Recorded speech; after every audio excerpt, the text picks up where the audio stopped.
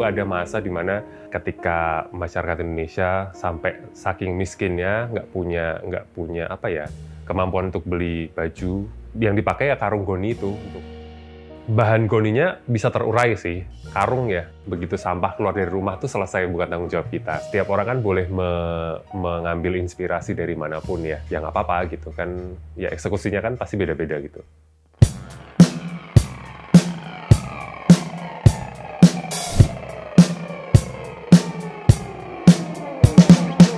Uh, nama saya Felix Krisnugraha di Omagoni sebagai manajer operasional. Omagoni letaknya di Jalan Parangtritis nomor 47 Yogyakarta.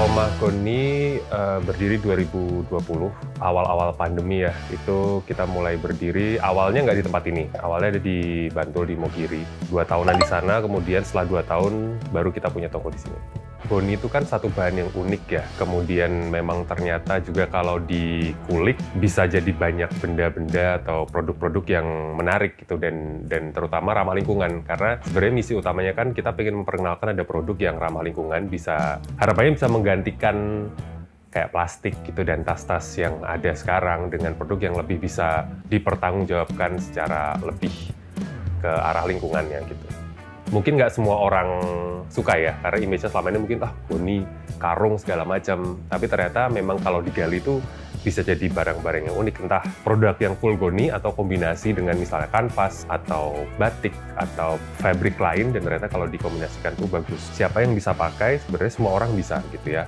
Dari mulai yang anak muda ada produk-produk yang cocok dipakai anak muda sampai mungkin yang untuk dewasa seperti mungkin wanita-wanita karir tuh ada produk-produk yang cocok. Even dipakai di seputaran rumah tangga tuh juga bisa kayak bisa alas alas gelas alas piring itu banyak pilihannya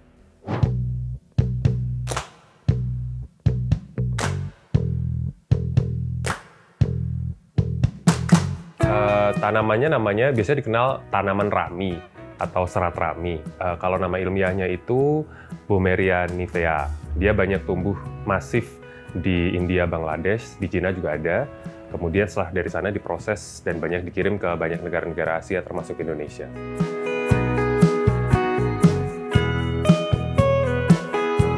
Kalau goni awalnya memang karung ya. Karena kan kalau kalau dulu memang untuk kebutuhan pertanian gitu ya kemasan yang uh, organik bisa dipakai organik tapi cukup lama gitu bisa dipakai ya. Awalnya cuman itu. Belum ada kebutuhan lain dipakai selain untuk memuat produk gitu ya produk-produk barang-barang pertanian. Sampai akhirnya mungkin ketika orang ke sini kan mulai ngelihat apa namanya potensi lain dari goni gitu. Ternyata bisa.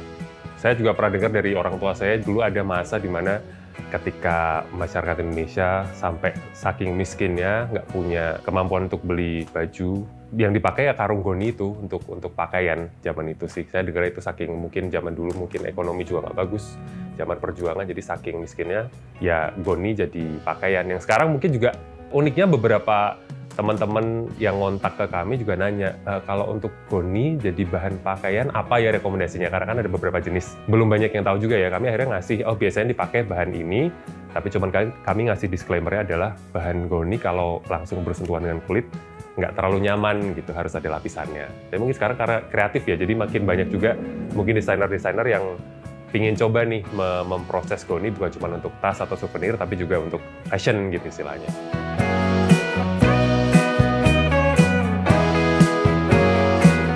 Pertama kali itu produk kain lembaran tentu aja. Kami jual setengah meter sampai satu meter. Sama pita. Ya pita goni yang diobras pinggir dengan beberapa warna. Terus dikombinasi pakai apa namanya renda. Sekarang yang paling gampang. Kemudian pouch. Jadi pouch-pouch untuk barang-barang kecil. Sama untuk apa namanya parfum kopi gitu. Jadi kecil gitu. Cuma dikasih uh, kantong goni dan ada talinya.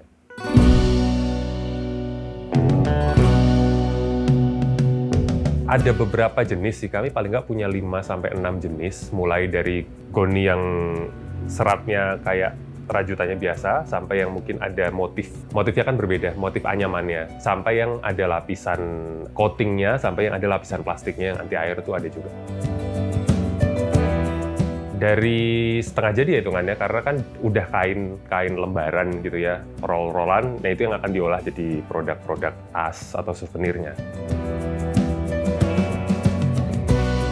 Lokal ada juga, impor juga ada, tapi kebanyakan lokal juga sih. Kami ambil ambil barang dari produsen di Bandung, kemudian dikirim ke sini dan kita olah di sini. Udah lumayan banyak variannya, tas ada beberapa macam, ada yang wearable, selain tas ada topi. Ke depannya mungkin nanti akan akan kita coba explore yang lain juga sih, lebih ke produk-produk yang unik gitu karena ternyata memang peminatnya ada gitu dan bukan cuma di Jogja. Kami sempat coba bawa ke Ubud ke Bali, peminatnya juga luar biasa karena banyak orang asing yang ngelihat kayak produk-produk unik dan ramah lingkungan itu cukup diminati ternyata.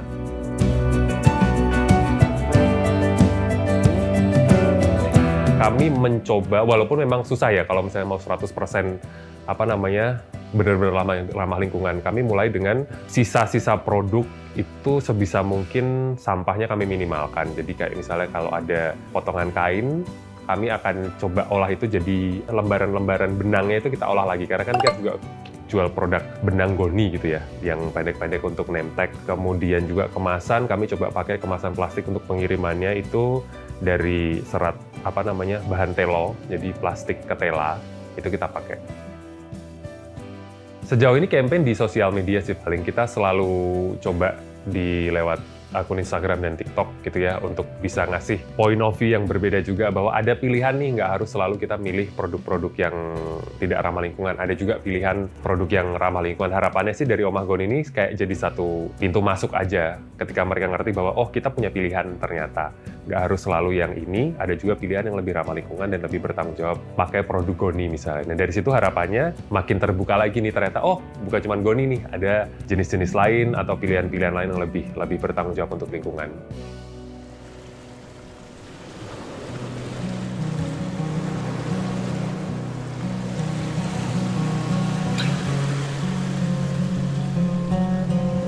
Itu kolaborasi. Jadi ada apa namanya komunitas Earth Hour di Jogja. Dia komunitas sebenarnya di seluruh dunia ada, cuman di Indonesia ada juga dan di beberapa kota. Nah kemarin teman-teman dari Earth Hour collab sama kita, jadi bikin produk dengan brand Earth Hour yang bikin Omah Goni kemudian di ya dipasarkan gitu. Memang karena kebetulan kami cukup kenal dekat dengan teman-teman Earth Hour ya dan misinya sama juga pengen coba me memberikan alternatif eh, barang-barang uh, yang ramah lingkungan. Karena kan mungkin daripada pakai tas yang berbahan plastik segala macam kita coba memperkenalkan produk-produk Goni dengan brand Earth Hour ini sendiri. Jadi kayak ya seiring sejalan lah kita sama-sama saling mendukung gitu. Katakanlah kampanyenya sama misinya sama tentang barang-barang yang ramah lingkungan.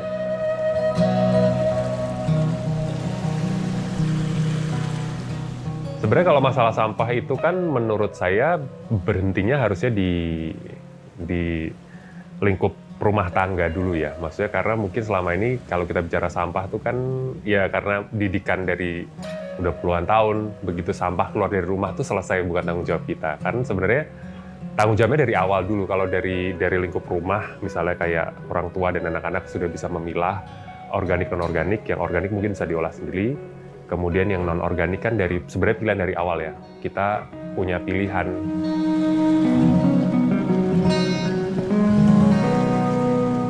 bahan goninya bisa terurai sih. Sebenarnya kalau kalau kita taruh aja gitu misalnya kayak di di alam gitu dia akan terurai.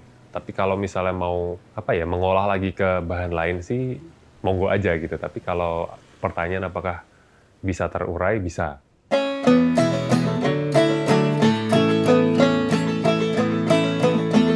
Uh, yang paling banyak itu masih kain sebenarnya kain lembaran sih. Jadi kayak meteran gitu cukup banyak yang beli. Kadang bisa sampai 10 meter atau bahkan sampai satu roll itu juga lumayan lumayan banyak yang cari gitu. Kebanyakannya online karena kami kan online juga ada di marketplace via WhatsApp juga bisa dikontak. Yang datang langsung ke toko juga ada, tapi mostly memang lebih banyak di online. Tergantung musim juga sih. Kadang-kadang kalau misalnya kayak Agustus tuh banyak yang beli karung 17-an, kayaknya iya gitu. Terus misalnya kayak uh, deket-deket ke musim-musim resepsi, kawinan tuh juga banyak yang beli buat souvenir, buat apa namanya seserahan gitu itu juga cukup banyak. Agak-agak amazed juga ternyata memang ya itu tadi banyak setiap hari ada aja di di bulan-bulan kayak uh, Juli Agustus nih lumayan. Setiap orang kan boleh me mengambil inspirasi dari mana pun ya. Jadi ketika kita kita punya produk, kemudian ada yang mau beli lembaran segala macam ya ya nggak apa-apa gitu kan. Ya eksekusinya kan pasti beda-beda gitu.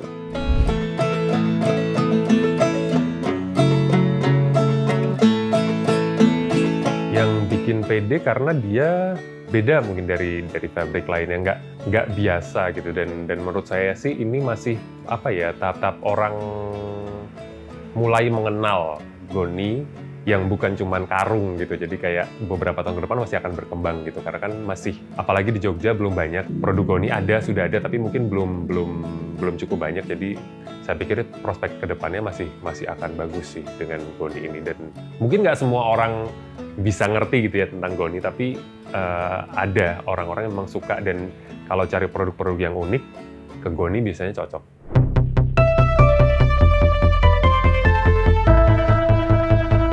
Iya bisa bisa banget open kolaborasi gitu dari dari mana aja boleh uh, kita bisa diskusi lah uh, kayak kita nggak saklek sih harus gini harus gitu selama kita nemu jalan tengahnya atau mungkin oh oke okay nih bisa dieksekusi gitu kan bisa dibuat prototype atau produknya kita akan bikin.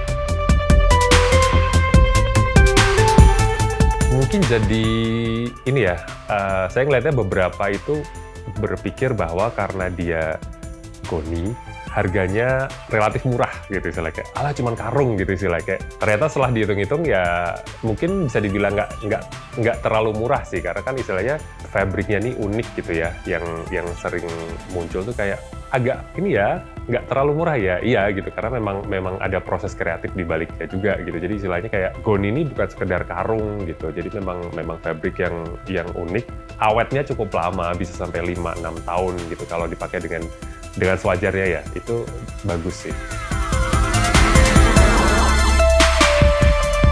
Uh, harapannya sih kalau Goni pengen jadi itu tadi tempat dari customer untuk cari produk Goni, entah tas, souvenir, karung Goni, atau mungkin bahkan yang cari bahan Goni, meteran itu bisa ke Omah Goni. Bukan cuma di Jogja tapi juga mungkin Jawa Tengah gitu ya. Kalau mau cari silahkan bisa kontak kami, kami akan provide dan bisa collab juga kalau dari customer punya ide-ide harapannya bisa brainstorm bareng gitu ya untuk bisa bikin satu produk yang unik.